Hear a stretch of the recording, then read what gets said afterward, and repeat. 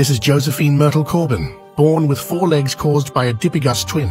She possessed not only two sets of legs, but also two pelvises, each equipped with its own set of reproductive organs. Her father, crippled from the Civil War, realized the potential cash he could make by showing her rarity. He set up advertisements, and Myrtle's uniqueness captivated audiences during the late 19th century. Phineas Taylor Barnum noticed her, and she worked for him for four years before retiring at 18. During her time in the circus, Myrtle found love with Dr. James Bicknell, and the two married.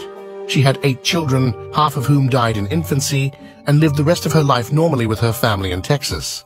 She appears to have finally stopped exhibiting around 1915. While she could manipulate her additional pair of legs, they were too short and lacked the strength to support her body weight for walking.